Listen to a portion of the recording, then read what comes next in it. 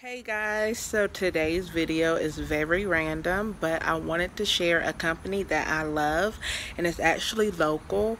I live in the Triad area and this uh, company is out of Greensboro, North Carolina, the Black Belt Soap Company.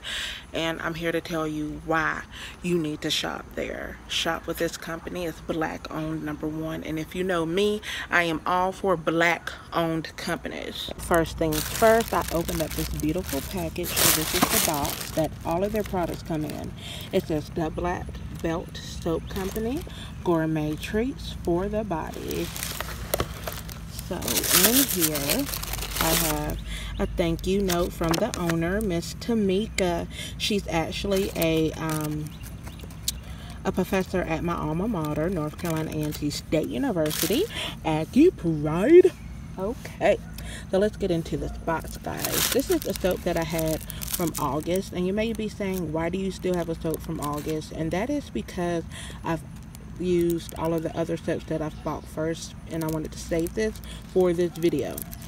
So, the lemonade and honey, I have not opened it up, but when I smelled it at the National Black Theater Festival, it smelled absolutely delicious. I've been waiting to use this, and now that I have some other products, I am going to just save it because I've been wanting to get my hands on this soap right here, which is the Mocha Mint Goat Milk Soap. I cannot wait to use this soap and let me smell it. Mm, I smell the mint. I smell the mocha. Mm. Open it up a little bit. I don't know which one I'm going to use first because I've been waiting to get my hand on the cream of rose soap as well made out of goat milk. And look at, this is real roses, real rose petals inside of this soap. She makes these soaps at her house so this these are not manufactured. These are made out in her own home. And I got the green tea, lemongrass, and honey. And I got a wooden soap dish. And the reason why I got, well, they sent this to me for free for a gift because the soaps will last longer with this wooden soap dish and I also received a sample of their lemongrass shea butter. This company has shea butter, vegan soap. I mean, who thinks of vegan soaps? I most definitely do not. But all of these products are awesome, and I'm going to do a smell test with all of these products. Okay, so first I am smelling the green tea, lemongrass, and honey.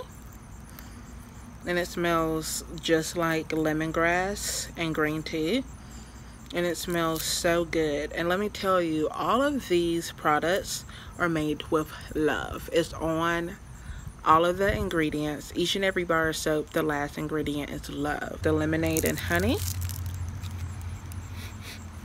I can most definitely smell the lemon in it and I can smell the honey. It's one I have been waiting to get my hands on since like September, the end of September, and she told me, okay, it will be ready after October the 28th. So October 28th, I was like, is the cream of rose soap ready yet?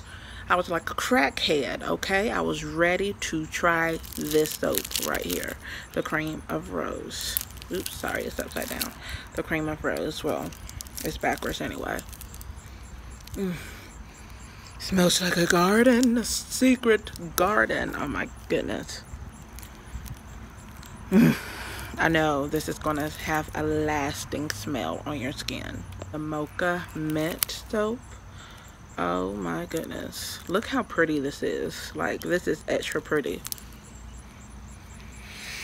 I can smell the mocha. I can smell the mint all together. This is the honeysuckle and rose body butter. And this smells like a garden. Honeysuckle and rose. It smells so good.